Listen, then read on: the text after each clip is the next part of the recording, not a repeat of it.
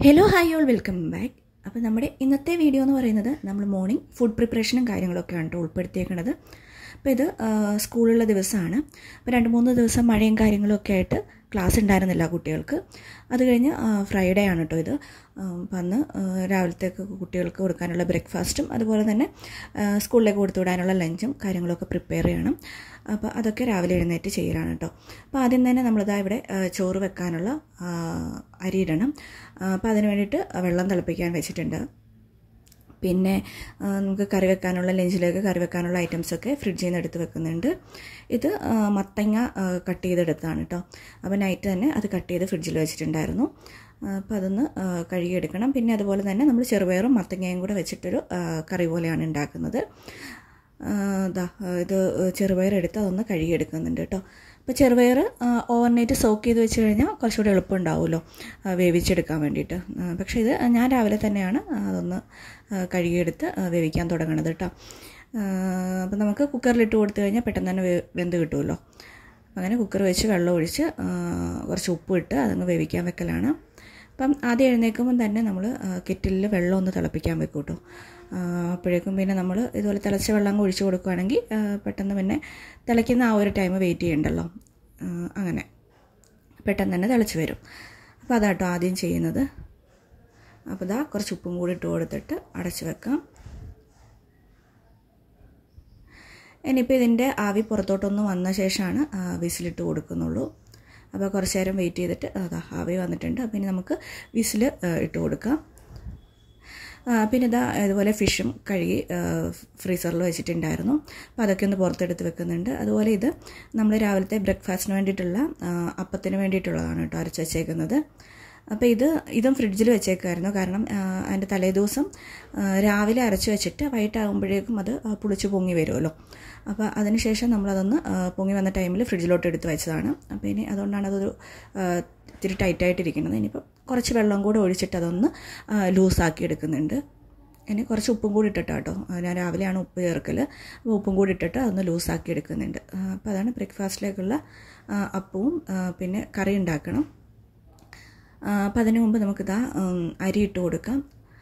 അപ്പം അരി എടുത്ത് നന്നായിട്ടൊന്ന് കഴുകിയെടുത്തിട്ട് അതും ഇട്ട് കൊടുക്കാം. അപ്പോൾ മോർണിംഗ് നേരത്തെ തന്നെ എഴുന്നേറ്റിട്ടുണ്ടായിരുന്നു. അപ്പോഴാണല്ലോ നമുക്ക് കാര്യങ്ങളൊക്കെ നടക്കുകയുള്ളൂ. കാര്യം പ്രെയറും അതുപോലെ തന്നെ രാവിലെ എനിക്ക് ഫ്രഷായി പിന്നെ പ്രെയർ കാര്യങ്ങളൊക്കെ കഴിഞ്ഞ് നേരത്തെ തന്നെ കുറച്ച് നേരത്തെ തന്നെ കിച്ചണിലേക്ക് എത്തും. എന്നാലാണ് നമ്മുടെ ഷൂട്ടിങ്ങും കുറച്ച് കാര്യമായിട്ട് നടക്കത്തുള്ളൂ. വേഗത്തിൽ നടക്കുകയുള്ളൂ. എല്ലാം കൂടി മാനേജ് ചെയ്യാൻ പറ്റുള്ളൂ. അപ്പോൾ ഇതാ എന്തായാലും അരിയിലേക്ക് ഇതാ കുറച്ച് തിളച്ച വെള്ളം ഒഴിച്ചിട്ടാട്ടോ കഴുകിയെടുക്കണത്. നമ്മൾ ആദ്യം തന്നെ വെക്കുന്ന വെള്ളത്തിൽ നിന്ന് കുറച്ച് എടുത്തിട്ട് കുറച്ച് വെള്ളം കൂടെ ഉപയോഗിച്ചിട്ട് നല്ല രീതിയിലൊന്ന് കഴുകിയെടുക്കണം. അപ്പോൾ അങ്ങനെ കഴുകിയെടുത്ത് പിന്നെ നമ്മൾ അരി ഇട്ടതാ തിളപ്പിച്ച് അങ്ങനെ റൈസ് കുക്കറിൽ ഇറക്കി വെക്കലാണ്. അപ്പോൾ ഇനി ഇത് കുറച്ച് അരി വേവുന്ന ഒരു ടൈം വരെ വെച്ചിട്ട് പിന്നെ എടുത്ത് അങ്ങനെ തിളപ്പിച്ച് അരി ഊറ്റിയെടുക്കലാണ് കേട്ടോ അങ്ങനെ പിന്നെ ചോറാക്കി അങ്ങനെ എടുക്കും. പിന്നെ ഇതാ നമ്മൾ ഫിഷ് ഒന്ന് ഫ്രൈ ചെയ്തെടുക്കണം. അതിന് വേണ്ടിയിട്ട് ആവശ്യമായിട്ടുള്ള മുളക് പൊടി ഉപ്പ് മഞ്ഞൾപ്പൊടി ഒരു ബേസിക് ആയിട്ടുള്ള ആ ഒരു രീതിയിലുള്ള ഒരു മസാല കൂട്ടുണ്ടാക്കിയിട്ട് അതിലേക്ക് അങ്ങ് ഇട്ട് കൊടുത്തിട്ട് കുറച്ച് നേരം ഒന്ന് മീൻ ഇങ്ങനെ വരഞ്ഞു വെച്ചിട്ട് അതിലേക്ക് എന്താണ് പുരട്ടി കൊടുത്തിട്ടൊന്ന് ഫ്രിഡ്ജിൽ കുറച്ച് നേരം വെക്കും കേട്ടോ അപ്പോൾ ഇതൊക്കെ ആദ്യം തന്നെ അങ്ങ് ചെയ്ത് വെക്കലാണ്. അപ്പോഴേക്കും ബാക്കി ഐറ്റംസൊക്കെ റെഡിയായി വരുന്ന സമയത്ത് ഇതിൽ മസാലയും ഉപ്പുമൊക്കെ അങ്ങനെ പിടിച്ചിരിക്കുമല്ലോ അപ്പോൾ അങ്ങനെ അതൊക്കെ അങ്ങ് ചെയ്ത് കൊടുക്കലാണ് കേട്ടോ അപ്പോൾ ഇതിൽ കുട്ടികൾ എന്താണ് കൊടുത്തു വിടാനും കൂടെയാണല്ലോ. അപ്പോൾ അതുകൊണ്ട് കാശ്മീരി ചില്ലി പൗഡറാണ് നമ്മൾ കൂടുതൽ ഉപയോഗിച്ചേക്കുന്നത്. അപ്പം അവർക്ക് എരിവ് അധികം കഴിക്കാൻ പറ്റില്ലാത്തതുകൊണ്ട് അങ്ങനെ കാശ്മീരി ചില്ലി പൗഡറും ആണ് യൂസ് ചെയ്തേക്കുന്നത്. കുറച്ച് അല്ലാതെ ഉള്ള നോർമൽ മുളക് പൊടിയും കൂടി ഇടും കേട്ടോ ഇത് പിന്നെ നമ്മൾ തീരാറായിട്ടുള്ള ഐറ്റംസൊക്കെ അങ്ങനെ അതിന്റെ ഇടയിൽ കൂടെ തന്നെ അങ്ങ് എഴുതി വെക്കും. അപ്പോൾ നമ്മൾ ലിസ്റ്റൊക്കെ കൊടുത്ത സാധനങ്ങൾ വാങ്ങുമ്പോഴത്തേക്ക് എളുപ്പമുണ്ടാവുമല്ലോ. പിന്നെ ഇതാ നമ്മൾ മത്തങ്ങ പംകിൻ കട്ട് ചെയ്തത് അങ്ങനെ വേവിക്കാൻ വെക്കുന്നുണ്ട്. അതിൽ കുറച്ച് ഉപ്പ് മഞ്ഞൾപ്പൊടി മുളക് പൊടി അങ്ങനെയുള്ള ഐറ്റംസൊക്കെ ഇട്ടിട്ട് വേവിക്കാൻ വെക്കലാണ് കേട്ടോ. പിന്നെ രാവിലത്തെ ബ്രേക്ക്ഫാസ്റ്റിന് അപ്പത്തിന് വേണ്ടിയിട്ടുള്ള കറി ഉണ്ടാക്കണം. പിന്നെ നമ്മൾ മീൻ കറി ഉണ്ടാക്കുന്നുണ്ട്. അപ്പോൾ അതിന് വേണ്ടിയിട്ട് രണ്ടിന് വേണ്ടിയിട്ടുള്ള ഐറ്റംസൊക്കെ എടുക്കലാണ് കേട്ടോ.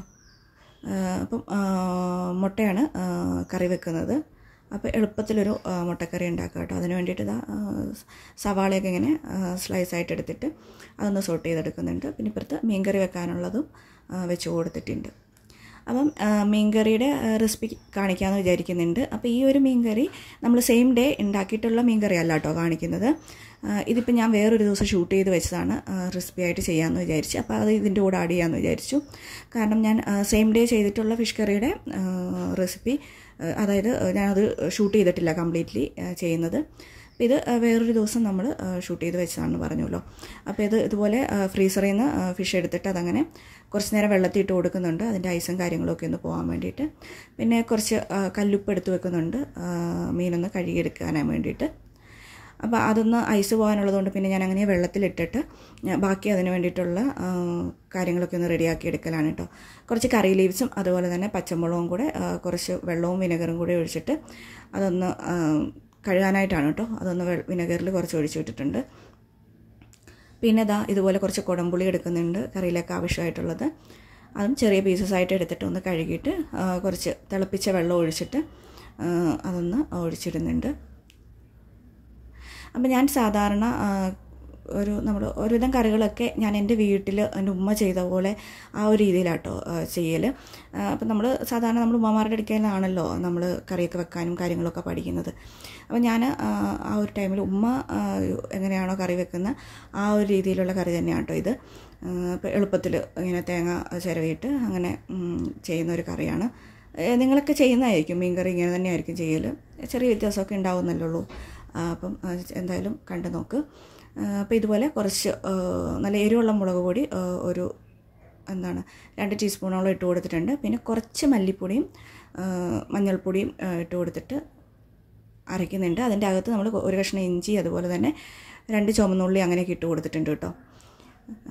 മഞ്ഞൾപ്പൊടി ലാസ്റ്റ് ചേർ ഇതിൽ ചേർത്തിട്ടില്ല. നമ്മൾ കറിയിലേക്ക് ചേർക്കാമെന്ന് വിചാരിച്ചിട്ട് ഇതിൽ ചേർത്തിട്ടില്ല കേട്ടോ. അപ്പം മല്ലിപ്പൊടി ഏറ്റവും കുറച്ച് ചേർക്കാവുള്ളൂ. ഒരു നുള്ളു മല്ലിപ്പൊടി എന്നൊക്കെ പറയും. ആ ഒരു രീതിയിലൊക്കെ ചേർക്കാവുള്ളൂ കേട്ടോ അല്ലെങ്കിൽ മല്ലിപ്പൊടിയുടെ ടേസ്റ്റ് അധികമായിട്ട് വരും. പിന്നെ ഇതാ ഫിഷ് കഴുകിയെടുക്കുന്നുണ്ട്. ഇതിപ്പം എന്താണ്? ഇത് നമ്മൾ നമ്മളെന്താണ്? കടൽ മീനല്ല ഇത് കായലിൽ നിന്നൊക്കെ പിടിക്കുന്ന ഒരു മീനാട്ടോ അപ്പോൾ അതിന് ഭയങ്കര ബെസ്റ്റ് ആട്ടോ ഇങ്ങനെ തേങ്ങ അരച്ച് കറി വെക്കുന്നത്. അതാ നമ്മൾ ചട്ടി വെക്കുന്നുണ്ട്. ചട്ടി വെച്ചിട്ട് നമുക്ക് അതിലേക്ക് അരപ്പങ്ങ് ചേർത്ത് കൊടുക്കാം കേട്ടോ. അപ്പം ഓയിലൊന്നും ഒഴിച്ച് ആദ്യം തന്നെ കൊടുക്കുന്നില്ല. നമ്മൾ ആദ്യം തന്നെ ഇതുപോലെ അരപ്പങ്ങ് ഒഴിച്ച് കൊടുത്ത് കുറച്ച് വെള്ളം കൂടി ചേർത്ത്. ഇപ്പോൾ ഇത്തിരി ലൂസാക്കി ഗ്രേവി ലൂസാക്കി വെക്കുന്ന കറിയാണ് കേട്ടോ. ആ രീതിയിലാട്ടോ ഉണ്ടാക്കൽ ഇനി കുറച്ച് ആവശ്യത്തിനുള്ള ഉപ്പിട്ട് കൊടുക്കുന്നുണ്ട്. പിന്നെ ഇതാ ഇതുപോലെ കുറച്ച് പച്ചമുളക് എടുത്തു വെച്ചിട്ടുണ്ട്. അപ്പോൾ എരിവിനനുസരിച്ച് പച്ചമുളക് ആഡ് ചെയ്ത് കൊടുക്കാം. അപ്പോൾ ഒരു രണ്ട് ടീസ്പൂണോളം മുളക് പൊടി ഇട്ട് കൊടുത്തിട്ടുണ്ട്. അതും കൂടെ നോക്കിയിട്ട് വേണം ബാക്കി. മുളക് പച്ചമുളക് ചേർത്ത് കൊടുക്കാൻ വേണ്ടിയിട്ട്. ഇനിയിപ്പോൾ നമ്മൾ സോക്ക് ചെയ്ത് വെച്ചിട്ടുള്ള കുടംപുളിയും കൂടെ ഇട്ട് കൊടുക്കാം. അപ്പോൾ പെട്ടെന്ന് എന്താണ് അതിലേക്ക് പുളി ഇറങ്ങുകയും ചെയ്യും. അപ്പോൾ തിളച്ച് വരുമ്പോൾ തന്നെ നമുക്ക് ഫിഷ് അതിലേക്ക് ചേർത്തും കൊടുക്കാം കേട്ടോ.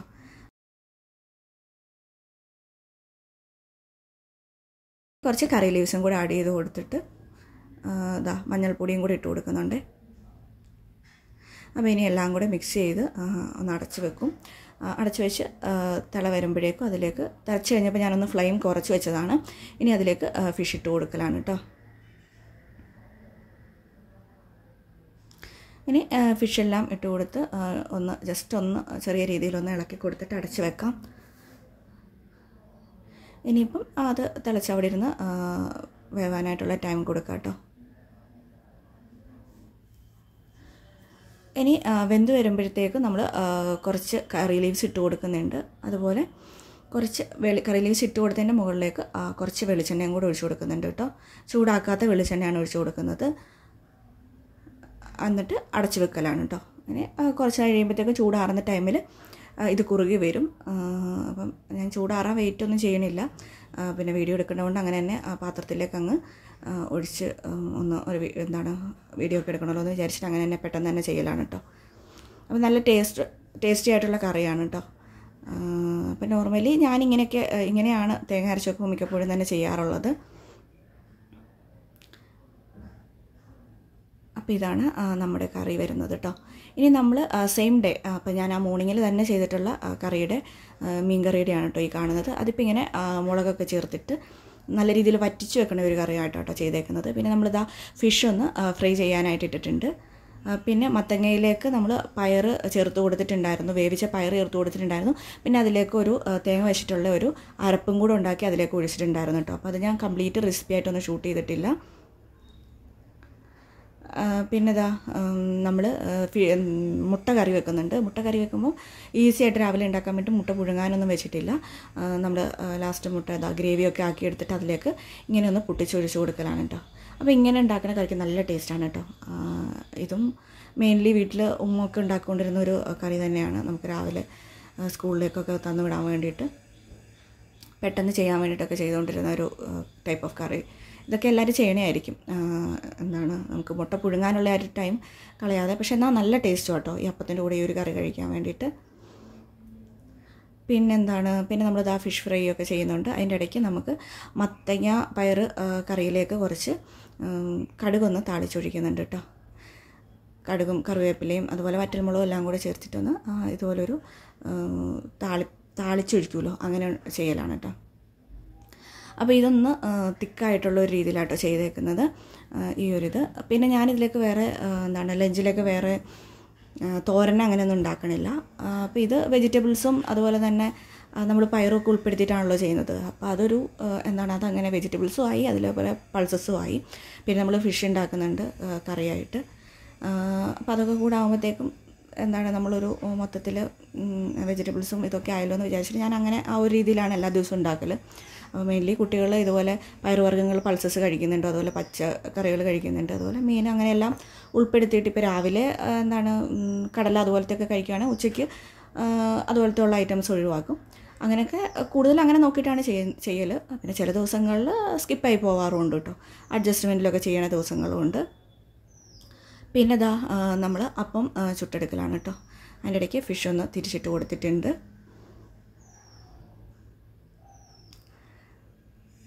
പിന്നെ ഇനി ഏകദേശമൊക്കെ കറികളൊക്കെ റെഡി ആയിട്ടുണ്ട്. അപ്പോൾ ഫിഷ് കറിയും ഫിഷ് ഫ്രൈയും ഇതുപോലെ ഈ മത്തങ്ങ കൊണ്ടുള്ള ഇത്രയാണ് ഇവർക്ക് ലഞ്ചിലേക്ക് കൊടുത്തു വിടാനായിട്ട്. പിന്നെ അപ്പവും മുട്ടക്കറിയും മോർണിംഗിലേക്ക് ബ്രേക്ക്ഫാസ്റ്റായിട്ട് കഴിക്കാനും ഇത്രയാണ് ഉണ്ടാക്കിയിട്ടുള്ളത് കേട്ടോ പിന്നെ എന്താണ് ഇവർക്ക് വെള്ളമൊക്കെ ഒന്ന് നിറച്ച് വെക്കലാണ്. അപ്പോൾ രാവിലെ കുടിക്കാനുള്ള വെള്ളവും എടുത്തു വെക്കുന്നുണ്ട്. സ്കൂളിലേക്ക് കൊടുത്തു വിടാനുള്ള വെള്ളവും അങ്ങനെയെല്ലാം കൂടി ഒന്ന് പാക്ക് ചെയ്ത് വെക്കലാണ് കേട്ടോ അതിന്റെ ഇടയ്ക്ക്. പിന്നെ ഇവർ ഒരു ഏഴുമണി ആ ഒരു ടൈമൊക്കെ ആകുമ്പോഴത്തേക്കും ഫുഡ് കഴിക്കാനിരിക്കും. അപ്പോൾ ബ്രേക്ക്ഫാസ്റ്റ് ആ ഒരു ടൈമിൽ റെഡി ആവണം. പിന്നെ ലഞ്ച് ഒരു ഏഴര ഒക്കെ ആകുമ്പോൾ പാക്ക് ചെയ്തെല്ലാം വെക്കണം. പിന്നെ ഇതാ ഇതുപോലെ സബർജില്ലുണ്ടല്ലോ അപ്പോൾ അത് ഇവർക്ക് ഇടയ്ക്ക് കഴിക്കാൻ വേണ്ടിയിട്ട് അതായത് ലഞ്ചിന് മുമ്പിൽ ഒരു ഇവർക്കൊരു ബ്രേക്ക് കിട്ടും. അപ്പോൾ ബ്രഞ്ചായിട്ട് കഴിക്കാൻ വേണ്ടിയിട്ട് സബർജില്ല് കട്ട് ചെയ്ത്. അപ്പോൾ ഒരു സബർജില്ല് രണ്ടു പേർക്കും കൂടെ കട്ട് ചെയ്ത് കൊടുത്തു വിടുന്നുള്ളൂ. കാരണം ആ ഒരു ടൈമിൽ എന്തെങ്കിലും ഒരു കഴിച്ചിട്ടുണ്ട് ഉച്ചക്കത്തെ ഫുഡ് അങ്ങനെ കാര്യമായിട്ട് കഴിക്കില്ല. അപ്പോൾ അതുകൊണ്ട് ഫ്രൂട്ട്സ് എന്തെങ്കിലും ലൈറ്റായിട്ടുള്ളത് കൊടുത്തു വിടും. പിന്നെ എല്ലാം പാക്ക് ചെയ്ത് വെക്കലാണ് കേട്ടോ ചോറും കറികളും ഒക്കെ ആക്കിയിട്ട് എല്ലാം അങ്ങനെ പാക്ക് ചെയ്ത് വെക്കലാണ്. പിന്നെ അതിന്റെ ഇടയിൽ കൂടെ കുട്ടികൾ റെഡി ആവലും അങ്ങനെ കാര്യങ്ങളൊക്കെ അതിന്റെ ഇടയിൽ കൂടെയും ചെയ്യുന്നുണ്ട് കേട്ടോ അപ്പം അങ്ങനെ എല്ലാം റെഡിയാക്കി നമ്മൾ എടുത്തിട്ടുണ്ട്. ഇതാ കുട്ടികളും ഇവിടെ റെഡി ആയിട്ടിരിക്കുന്നുണ്ട്. ഇനിയിപ്പം പോകാനുള്ള സമയമായി. ഇപ്പം കുറച്ച് നേരത്തെ തന്നെ റെഡി ആയിട്ടുണ്ട്. അപ്പോൾ അങ്ങനെ കുറച്ച് നേരം വെയിറ്റ് ചെയ്തിരിക്കലാണ് കേട്ടോ അപ്പോൾ ഒരു കറക്റ്റ് ഏഴേ മുക്കാലൊക്കെ ആകുമ്പോൾ അവർ ഇറങ്ങും. അപ്പോൾ അവരുടെ വണ്ടി ആ ടൈമിൽ വന്നു. കുട്ടികൾ പോവുകയും ചെയ്തു സ്കൂളുള്ള ദിവസം ഈ ഒരു ടൈമിൽ അതിന്റെ ഫുഡ് പ്രിപ്പറേഷനും കാര്യങ്ങളൊക്കെ ഈ ഒരു ടൈം ആകുമ്പോൾ കഴിയും. പിന്നെ സ്കൂളില്ലാത്ത ദിവസമാണെങ്കിൽ കുറച്ച് കുറച്ച് മാറ്റമൊക്കെ ഉണ്ടാവും കേട്ടോ. അപ്പം അത്രയ്ക്കാണ് വിശേഷങ്ങൾ. അപ്പം വീഡിയോ ഇഷ്ടപ്പെട്ട് കഴിഞ്ഞാൽ ലൈക്ക് ചെയ്യാൻ മറക്കണ്ട. അപ്പം സബ്സ്ക്രൈബ് ചെയ്ത് ചെയ്യാതെ കാണുന്നവരൊന്ന് സബ്സ്ക്രൈബ് ചെയ്തേക്കുക. മറ്റൊരു വീഡിയോയിൽ വീണ്ടും കാണാം. Till then bye